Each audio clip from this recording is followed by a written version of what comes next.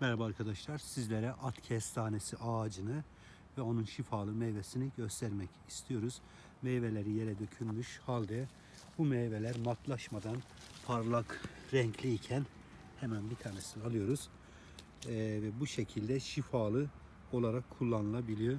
Meyvenin işte dikenli kozası değerli arkadaşlar ve kozanın içerisinde parlak renkli at kestanesi meyvesi burada da gördüğünüz gibi ağaç üzerinde bu şekilde oluşmuş. Ee, bunun balsamı yapılarak e, alkolle veya zeytinyağıyla muamelede elde edilen şifalı bir krem yapılarak özellikle ağrı kesici anlamda kullanılıyor at kestanesi meyvesi.